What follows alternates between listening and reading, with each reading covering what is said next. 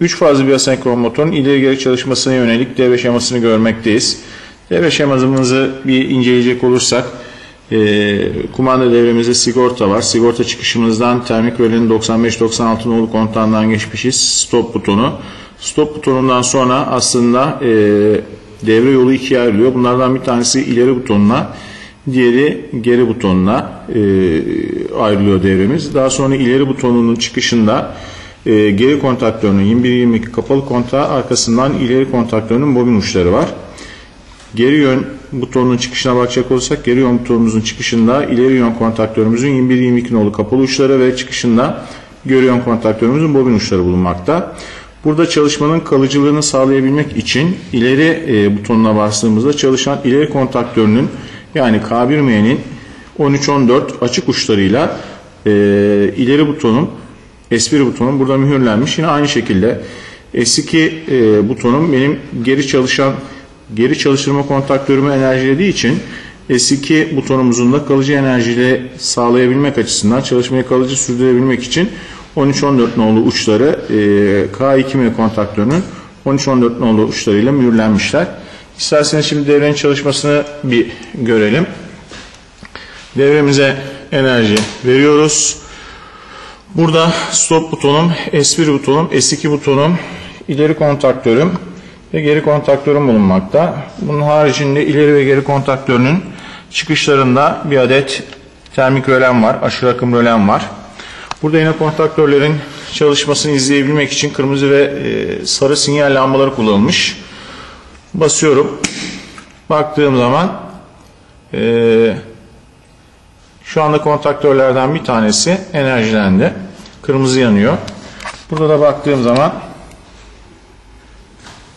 ileri kontaktörüm devreye girmiş. E, fark edebilmek için stop'a basıyorum.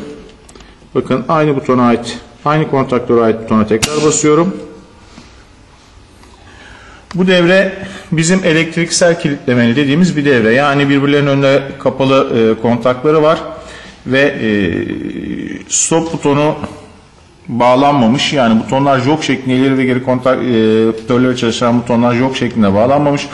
O nedenle bu butonla çalıştırmıştım. Diğer butona bassam dahi diğer kontaktör devreye girmiyor. Ancak stop butonuna bastıktan sonra diğer kontaktörü devreye sokuyorum. Sarı göz lambam yandı. Burada da baktığımız zaman geri kontaktörüm devreye girdi. Yine fark edilmesi için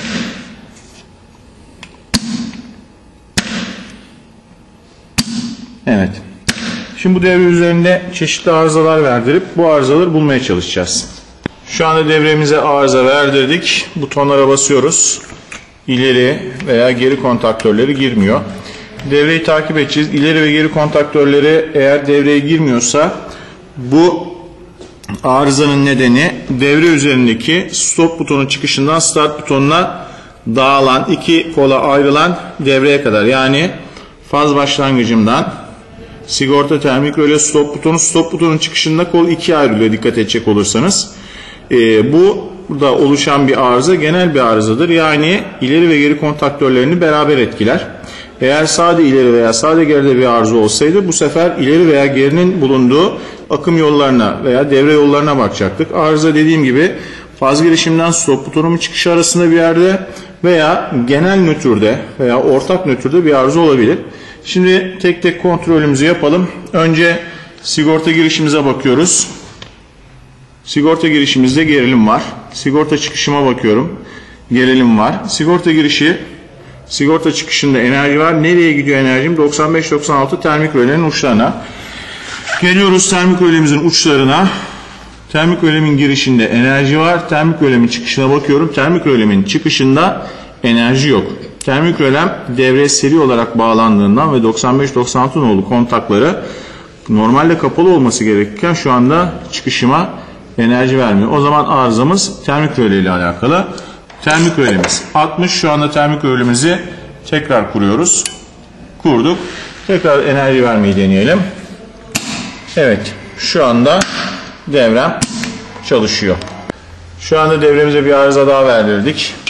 Butonlarımıza basıyoruz. İleri ve geri butonlarım kontaktörleri enerjilendirmiyor. Devre takvimine tekrar bakacak olursak neydi? Sigorta giriş çıkışı, termik röle 95-96 giriş çıkışı ve stop butonuydu. Önce devrenin bu kısmını kontrol edelim. Sigorta girişimize bakıyoruz. Sigorta girişimizde enerji var. Sigorta çıkışımızda enerji var.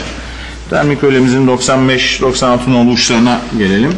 Termik ölemizin 95 nolu ucunda enerji var. 96 nolu ucunda enerji var. Buradan gideceğimiz yer stop butonu. Stop butonumuza geliyoruz. Stop butonumuzun girişinde enerji var. Stop butonumuzun çıkışında enerji yok. O zaman stop butonumuzda bir arıza var. Dikkat ettiğimiz zaman burada stop butonu olarak 21-22 nolu uçlar yerine 13-14 nolu uçları kullanmışız. Yani stop butonu normalde kapalı olması gerekiyor. Yani normalde açık uç kullanılmış. Bu arızayı düzeltelim. Enerjimizi kestik. Uçları normalde kapalı kontağa yani stop kısmını alıyorum. Tekrar enerji verdik. Devremizi deneyelim. Evet. Şimdi devremiz çalıştı. O zaman arıza stop butonundan kaynaklanan bir arızaymış. Şu anda devremize bir arıza daha verdirdik. Enerji verip arızamızı görelim. Şu anda ileriye bastım. Motorum ileri yönde dönüyor. Stop'a bastım. Geri butonuna basıyorum. Geri kontaktörüm çalışmıyor. Bakacak olursak devre arızasını burada ilgili kolda aramamız lazım. Yani eğer bu kontaktör çalışmıyorsa, diğer kontaktör çalışıyorsa devrenin şu noktası, yani şu enerjiyi sağlayıp stop butonunun çıkışına kadar olan noktada herhangi bir sıkıntı yok. Sıkıntı olmadığı için bu tarafı devrenin çalışıyor. Devrenin eğer bu tarafı çalışmıyorsa buradaki start butonu, buradaki normalde kapalı kontak ve buradaki kontaktörde arızayı aramamız lazım. Tekrar devreyi çalıştıralım. Hangisi çalışmadığına bakalım. Şu anda bu butonum çalıştırıyor. Hangisini çalıştırıyor? Buradaki kontaktörümü çalıştırıyor. Yani aslında diğer buton bu kontaktörün çalıştırması gerekirken bu kontaktörüm çalışmıyor. O butonun çıkışından itibaren devreyi kontrol edelim. Çalışmayan butonum hangisiydi? Bu butondu. Bu butonun girişine bakalım enerji var mı? Butonumun girişinde enerji var. Butonumun şu anda çıkışında start buton olduğu için enerji olmayacak. Ancak butona bastığım zaman çıkışım enerji verecek. Evet butona bastığım zaman çıkışım enerji veriyor. Bunu devamlı basılı tutamayacağımıza göre uçları kısa devre yaptım şu anda. Uçları kısa devre yapmam benim butona devamlı basmam anlamına geliyor. Şu anda o butonumuzun evet tekrar bakalım çıkışında enerji var. Buradan nereye gidiyor? Çalışmayan kontaktörümüz bu muydu? Buydu. Çalışmayan kontaktörümüz bu olduğuna göre diğer kontaktörümüzün normalde kapalı ucuna gidiyordu. Geliyoruz bakıyoruz. Diğer kontaktörümüzün 13-14 bir tane mühürleme kontak kullanılmış. 21, 22, 31, 32 kapalı kontakları kullanılmamış. Onun yerine 43, 44 tekrar açık kontakları kullanılmış. Yani bu kontaktörümün yasaklamak için kullanılması gereken kapalı kontağı yerine açık kontak kullanılmış. Yani örneğin şuradaki kontak uçların 21-22 kapalı değil 13-14 açık uçlar. Bu nedenle bu K2M kontaktörü enerjisi yokken, enerjisizken e, bu kontaklarda açık olacak ve kontaklar açık olduğu için de K1M kontaktörümün çalışmasını engelleyecek. Enerjiyi keselim tekrar. Şuradaki 13-14 nolu uçlarımızın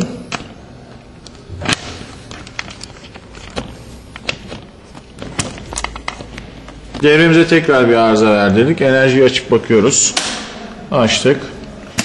İleri butonuna basıyorum. Elim çektiğim zaman kontaktörüm devre dışı kalıyor. Tekrar bakın bakalım. Diğer butonuma basıyorum. Geri butonuma. Bunda da aynı durum söz konusu. Sadece kontaktörü bastığım sürece motor çalışıyor. Bu mühürleme ile ilgili bir hata. Yani burada S1 butonu K1M kontaktörünü enerjilendiriyor. O zaman S1 butonu K1M tarafından mühürlenmesi lazım. S2 butonu K2M kontaktörünü enerjilendiriyor. O nedenle K2M'yi çalıştıran S2 de K2M'nin kontakları tarafından mühürlenmesi lazım.